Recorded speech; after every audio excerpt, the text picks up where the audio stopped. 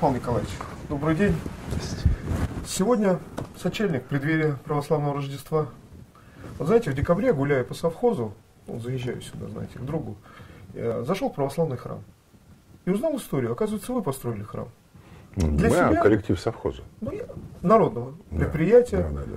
Для себя или для людей? Не, а получилось как? У нас же вокруг очень много храмов. Э, достаточно большой. И в Видном есть храм в нашем городе районном, и Беседах очень старый храм. В острове, который, где меня крестили, он вообще еще со времен Ивана Грозного. Их всего два таких храма. В Коломенском и вот в острове. Это памятники архитектуры, но одновременно действующий храм.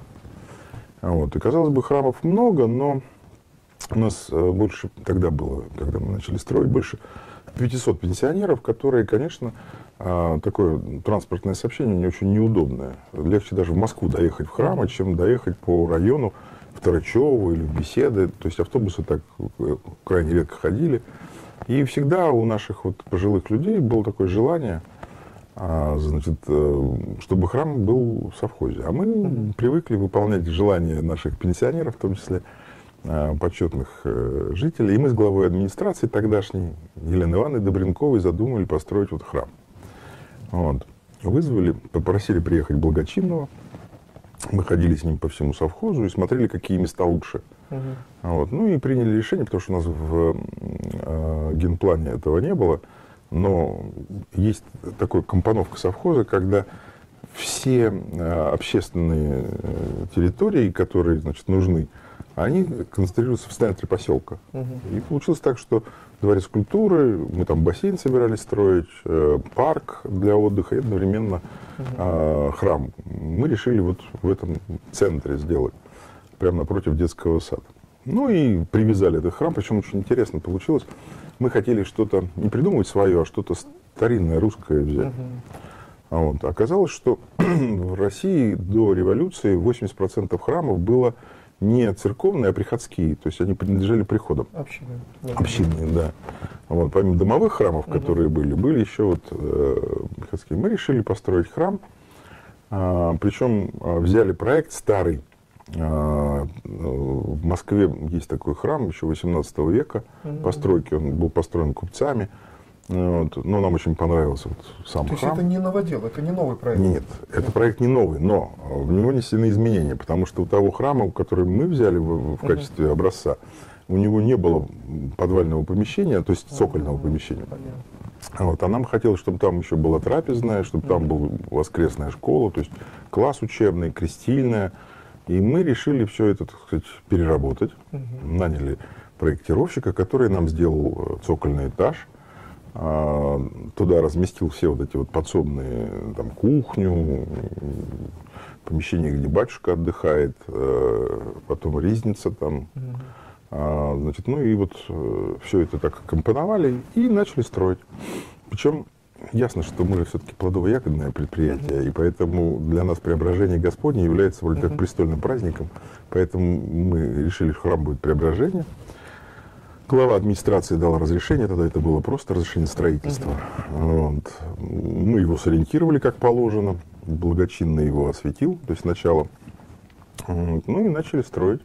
Причем строили на деньги коллектива, значит, никаких частных пожертвований не привлекали, потому что ну, достаточно, скажем так, устойчивые экономические предприятия, поэтому решили все сделать сами. Ну и потом, а, так интересно получилось, когда начали строить храм, стали Благочинова просить найти нам хорошего священника, потому что все-таки угу. а, душа храма это священник прежде всего. С людьми будет работать. Да, значит, и нам повезло, значит, нам предложили вот отца Николая. А, вот он до этого работал в Ленинском районе, то есть служил а, в главном храме, в Видномском, а, вот, Георгия Победоносца. И вроде как батюшка благочинный сказал, да, хорошо, мы вам его ну, сюда отправим. Вот. Ну и получили такого очень хорошего священника. Ну, а потом начали уже отделочные работы. В общем, строили тоже вот по канонам, там же, а, если вы ходили, обратили внимание, что пол, он вот так, такие же полы, как были обычно во всех храмах, еще построенных в XIX веке.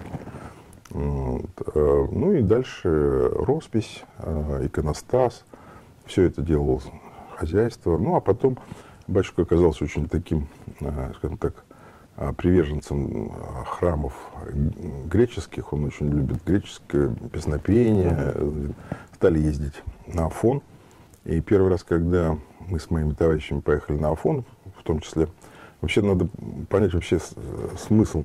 Когда-то до революции совхоз имени Ленина, земли совхоза Ленина принадлежали садовым, а, а, есть такое понятие, коллективные садоводы.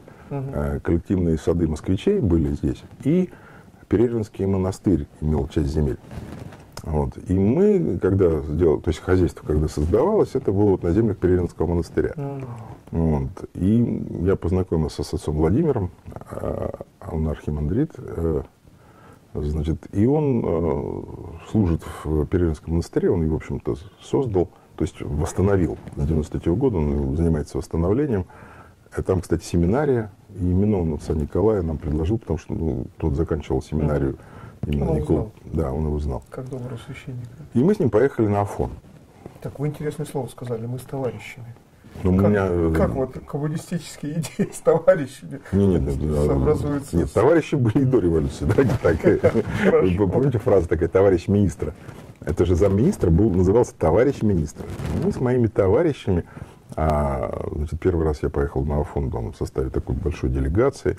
Uh-huh. И мы там ездили по храмам, по монастырям и увидели очень интересную живопись.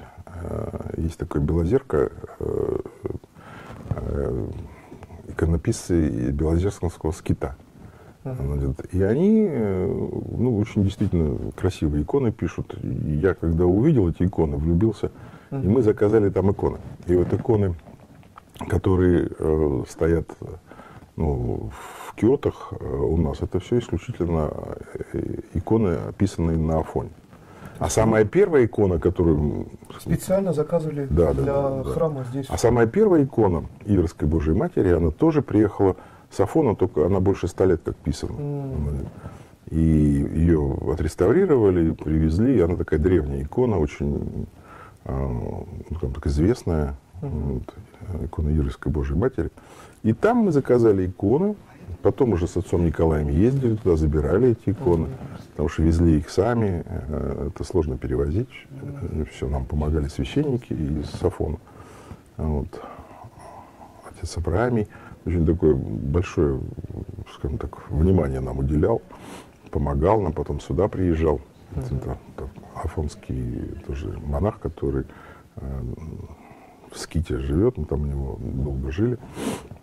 Вот, поэтому ну, такая история довольно, скажем так, писанная уже в нынешнее время, но такая довольно интересная. Вот. А потом храм стал востребованным. Ну, конечно, это благодаря батюшке, и благодаря тому, что мы, в общем, так его правильно поставили. Поэтому там а, большое количество прихожан. Мы когда-то больше года, наверное, содержали его, то есть даже зарплату им платили, а потом уже они сами встали на ноги, слава богу. Поэтому храм до сих пор нам принадлежит. Мы его ну, как-то всячески ему помогаем. Вот. Хотя, конечно, сейчас уже он востребован очень сильно. Посмотрите, какое количество людей угу. ходит на службы, ну и, а, ну, конечно, это заслуга и отца Николая прежде всего. Знаете, удивительный священник. Я зашел средь бела дня, ну, рабочая неделя. Понятно, что не ожидал кого-то увидеть, но не увидел никого. Но богослужение не прекратилось. Он один служил в храме. Не, не, ну, очень, Службу проводил.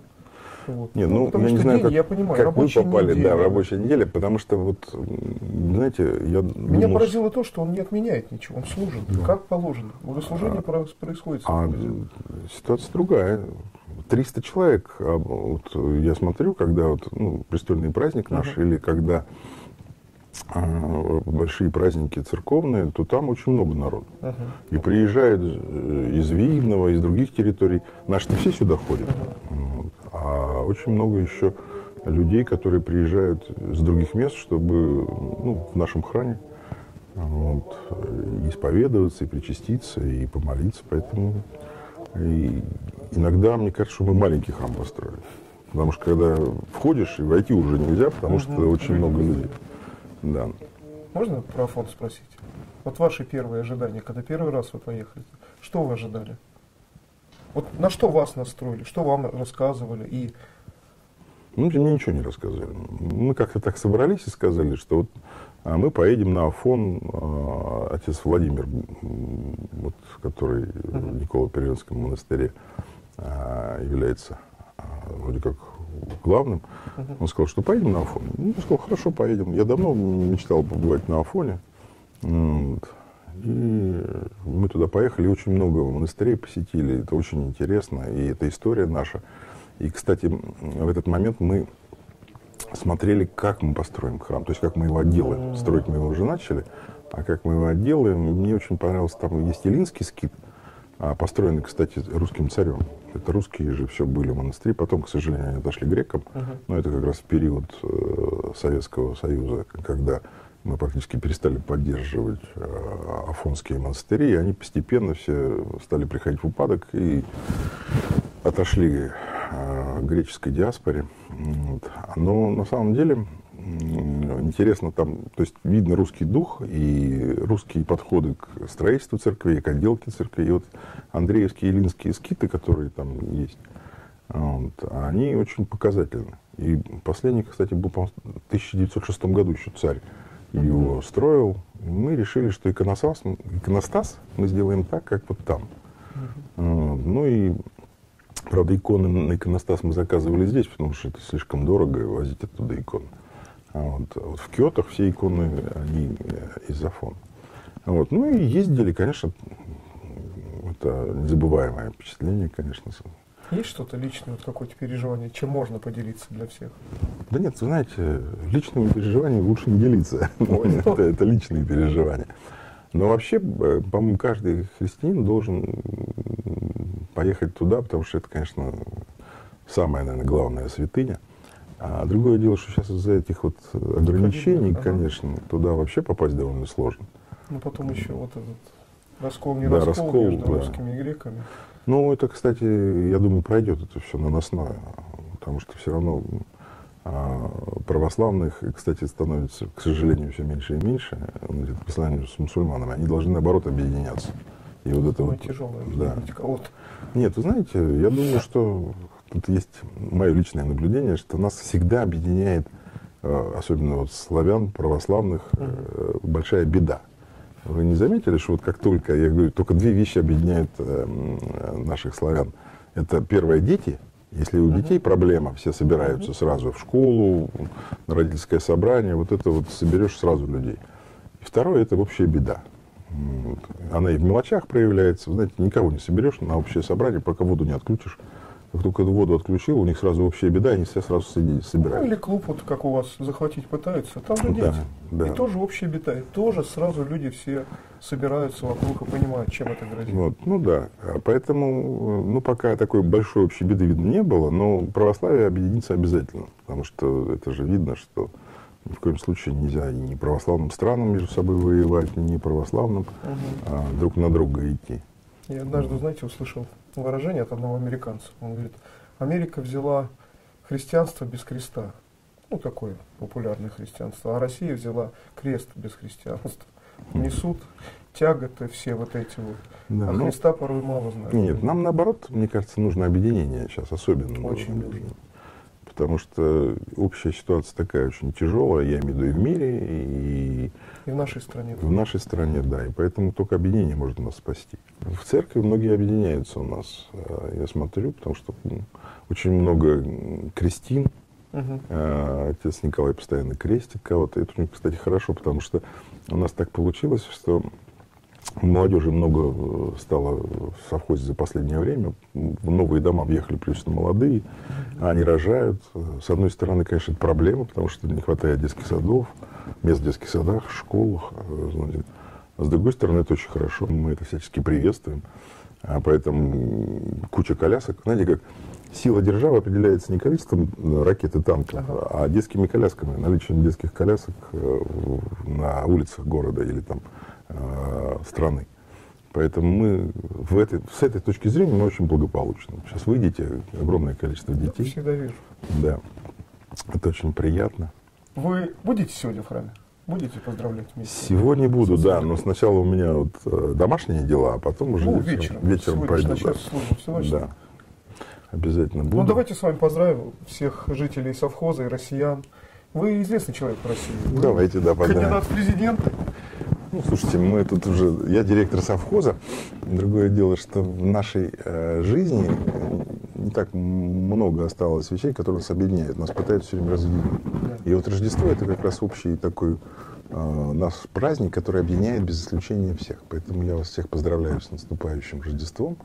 Желаю главное здоровья, чтобы Новый год, который мы встретили, оказался более счастливым, чем предыдущий. Вот. Ну и чтобы все мы помнили наши корни и помнили, э, что мы должны делать э, с точки зрения нашей веры, православия.